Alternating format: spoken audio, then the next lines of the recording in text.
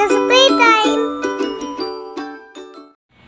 Hello guys, we're gonna try the pepper and soap experiments.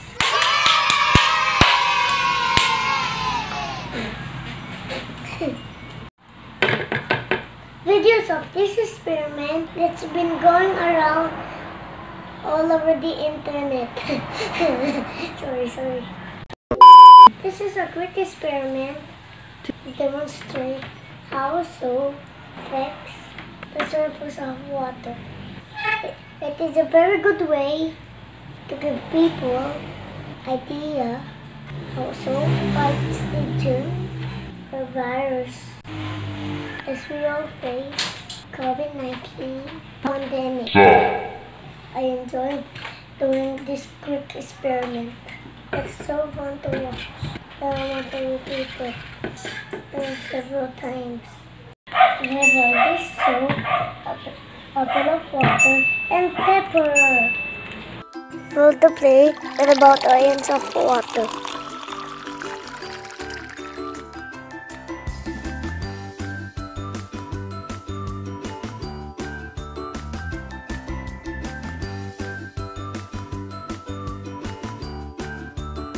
Sprinkle pepper evenly across the surface. Try not to sneeze. Achoo! The pepper flakes should float, not sink, above the surface of water. Squeeze a tiny bubble of this soap onto my finger poke into the water right in the center of the plate. Pepper flakes dirty to the side of the plate. That's how soap fight germs and viruses. It looks like the soap was chasing the pepper flakes away.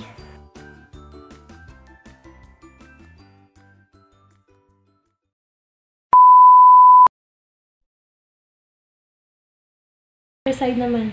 Other side. Para all over the plate. All of it? Yes. Hop, hop. That's enough. That's enough. Ang dami na. Tapos, Not all of it. no, hindi ka kasha. Dapat ano. Wait lang, wait lang. It's too much eh. Teka lang, teka lang. Kasi ang dami. Ano? so yun. Try not to sneeze. Because, Try not to. Try not to sneeze. let's put so. Wait lang. Up, that's enough. Whoa.